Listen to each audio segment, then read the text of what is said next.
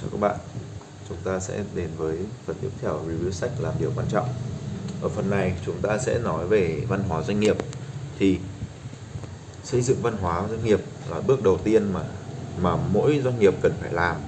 Lãnh đạo nào cũng bị ám ảnh bởi cái bởi công việc này.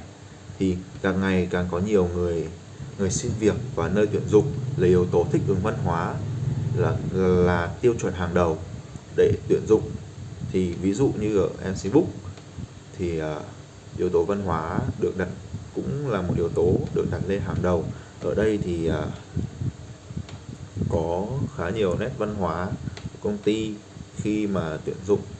Thì uh, người tuyển dụng như bộ phận nhân sự có sẽ hỏi về những cái văn hóa của công ty cũ hoặc là những cái thói quen những cái văn hóa của bạn để xem bạn có bạn có phù hợp với văn hóa của công ty không để đánh giá mức độ phù hợp này. Và sau đó có quyết định có có tuyển dụng bạn hay không. Tiếp theo là làm thế nào, làm thế nào để doanh nghiệp định nghĩa và xây dựng văn hóa được cho là tích cực. Thì ở đây, để xây dựng văn hóa tích cực thì OKR và CSR chính là nền tảng bằng cách kết nối các nhóm làm việc với nhau và làm việc tiến về những mục tiêu giống nhau thông qua các cuộc trao đổi hướng đến mục tiêu thì văn hóa của doanh nghiệp được hình thành. Andy Grove đặt văn hóa doanh nghiệp ngang bằng với hiệu suất làm việc.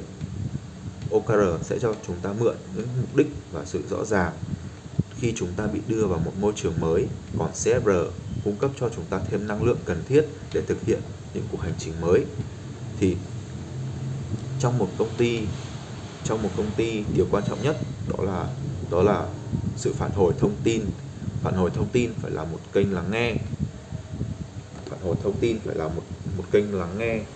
Khi mà khi mà lãnh lãnh đạo lãnh đạo thì không thể ngồi chờ những thông tin xấu về doanh nghiệp của mình hay chờ những cái nhân viên nhân viên xuất sắc của mình bỏ đi làm nơi khác rồi mới hành động.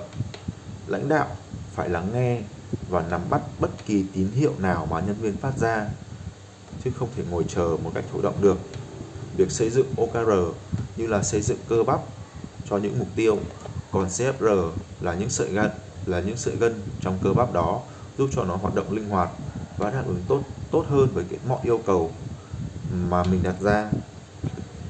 Ví dụ như ở, ví dụ như ở Coursera Coursera là cái nền tảng khóa học trực tuyến lớn nhất lớn nhất thế giới hiện nay. Ở đó họ có, họ định nghĩa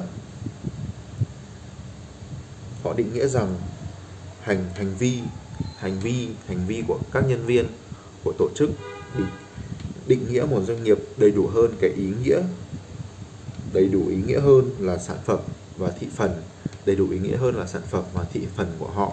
Văn hóa doanh nghiệp là một thứ gì đó không thể thay thế được. Thì để nói về văn hóa doanh nghiệp thì còn rất nhiều ý nữa mà mình mà trong quyển sách này thì à, chỉ đề cập một phần thôi thì để tiếp tục uh, tìm hiểu thêm về văn hóa doanh nghiệp chúng ta có thể tìm hiểu phần sau đó là thay đổi văn hóa doanh nghiệp qua câu chuyện của Lumeris. Thì phần review của mình hôm nay đây là hết. Hẹn gặp lại các bạn vào ngày mai.